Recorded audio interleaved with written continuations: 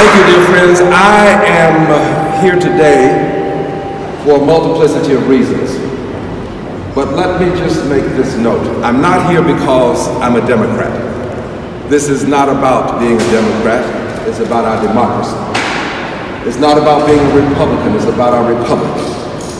And I love my country. And I believe that in this country, in times such as these, with a crisis such as this, we should all become one. We should be on one accord.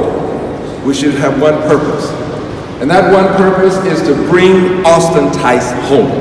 That should be our purpose. He belongs to us. He's one of ours. We can't turn our backs on him. We have a duty, responsibility, and an obligation as members of Congress to do everything that we can to show every other American that when you're being held hostage, your people back home will have your back and we will bring you back. Bring him home.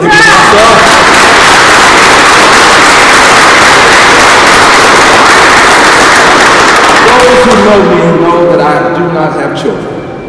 That's one of my great regrets in life.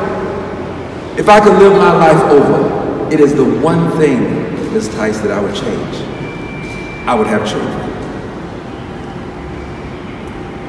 And if I could, I would want my son to be a person who would become an Eagle Scout. I would want my son to serve in the Marines, to serve his country. I would want my son to be courageous enough to go to distant places and dark corners and to, to want to help people that would never be available for him to meet and greet personally. I would want him to say, yes, I'm willing to risk my life so that others may know what's happening in the lives of people in these distant places. I would want a son like Austin Tice, Eagle Scout, served in the Marines, gone to distant places, made a difference in the lives of others.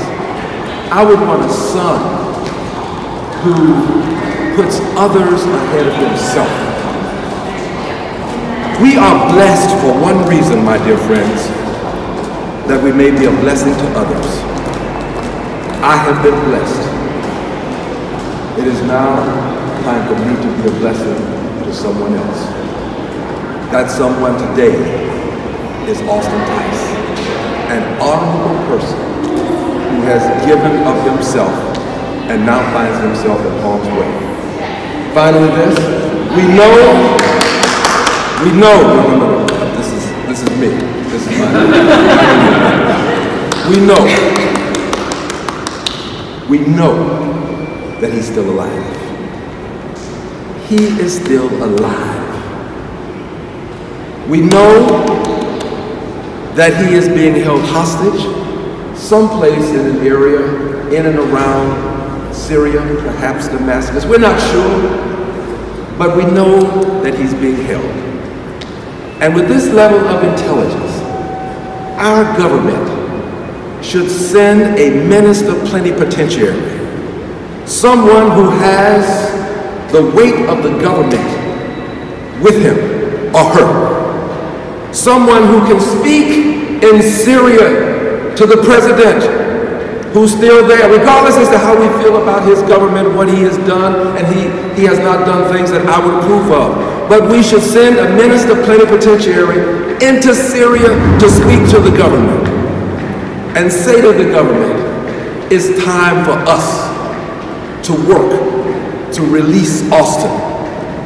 We come with this as an envoy from the President of the United States. It's time. Austin's, he's not about the war. That's, that wasn't why he was there. So holding him because of some other thing that was going on is unacceptable.